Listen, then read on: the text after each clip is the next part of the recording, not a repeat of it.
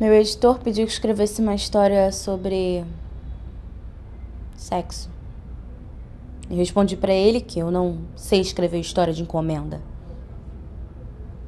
Mas enquanto ele falava ao telefone, eu já sentia nascer em minha inspiração.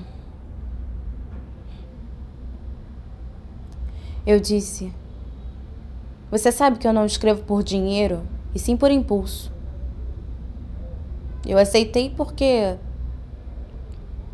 Porque trata-se de um desafio. Pronto. Eu tô ficando até arrepiada. Ui! Já sinto até calafrios.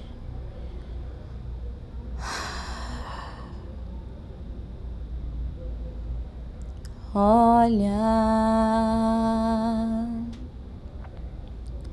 Será que ela é moça? Será que ela é triste?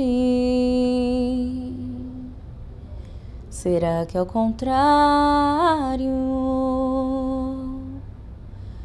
Será que é pintura?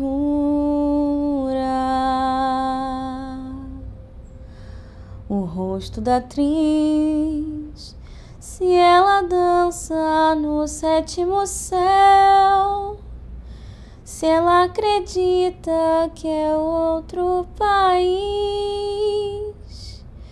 e se ela só decora o seu papel, e se eu pudesse entrar na sua vida.